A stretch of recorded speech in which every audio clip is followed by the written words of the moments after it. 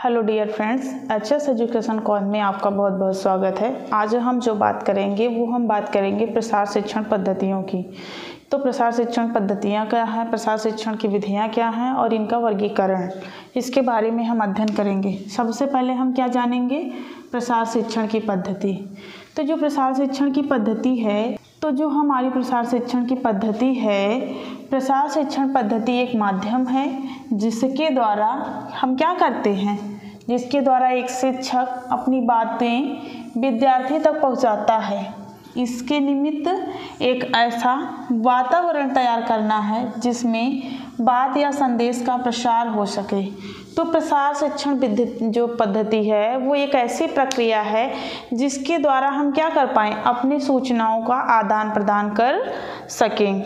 और सूचनाओं का आदान प्रदान होगा तो क्या होगा? हमारा जो अगला व्यक्ति होगा, जिसे हम सूचना प्रोवाइड कर रहे हैं, उसकी हम रुचियों को जान पाएँगे, उसकी अनुभूतियों को हम समझ पाएँगे। और क्या करेंगे? उसके अंदर अपने विचार अब उसका व्यवहारिक ज्ञान अर्जित कर पाएँगे।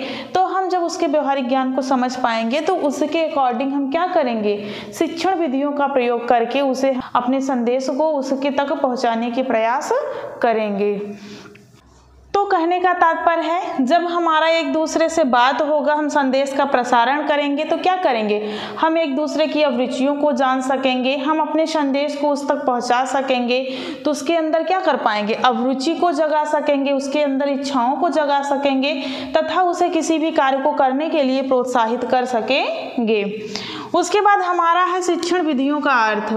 जब हम शिक्षण विधियों के अर्थ की बात करते हैं तो जो हमारी शिक्षण विधियाँ हैं, वे ऐसे साधन हैं, जो प्रसार कार्यकर्ता तथा शिक्षार्थी के बीच अनुकूल परिस्थितियाँ उत्पन्न कर देते हैं, जिससे प्रसार कार्यकर्ता शिक्षार्थी के बीच संचार संभव हो जाता है।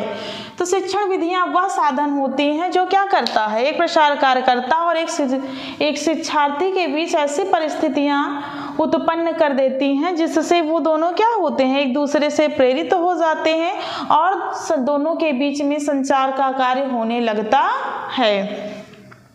उसके बाद हम जानेंगे प्रसार शिक्षण विधियों का वर्गीकरण। जब हम प्रसार शिक्षण की विधियों का वर्गीकरण पढ़ेंगे तो इसको छह भागों में बांटा गया है। कौन कौन सा है? तो पहला है शिक्षार्थियों की संख्या के आधार पर।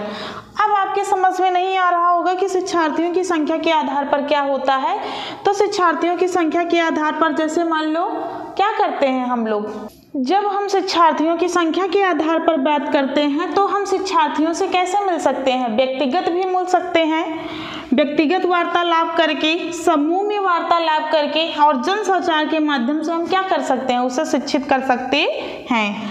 अगला है स्वरूप एवं प्रकृति के आधार पर। तो स्वरूप एवं प्रकृति का जैसे हमारा लिखित हो गया, मौखिक हो गया और दृश्य हो गया। ये सारी चीज़ें हमारा आएगा।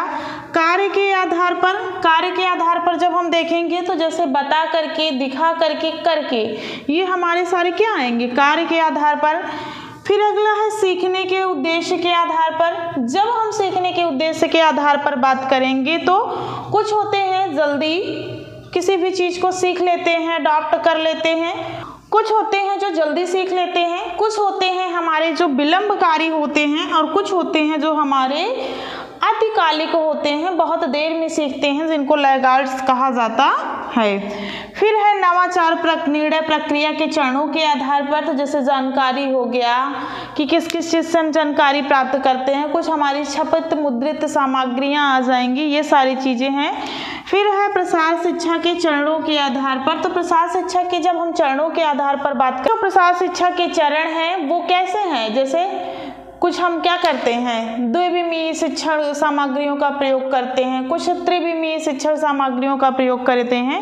इसके बारे में हम चर्चा करेंगे। जैसे हमारा पोस्टर हो गया तो कैसा है वो? दो विमीय है, फ्लैश कार्ड हो गया, दो है, लेकिन कोई नमूना हो गया, कोई मॉडल हो गया। तो ये सब कैसा है? त्रिविमीय है तो इन सब चीज़ों के बिंदुओं के बारे में चर्चा करेंगे। तो इस वीडियो में बस इतना ही। आप हमारे वीडियो को अपने दोस्तों के साथ ज़रूर शेयर करें। बेल आइकॉन को प्रेस कर लें, जिससे आपको नेक्स्ट वीडियो की अपडेट मिलती रहे। धन्यवाद।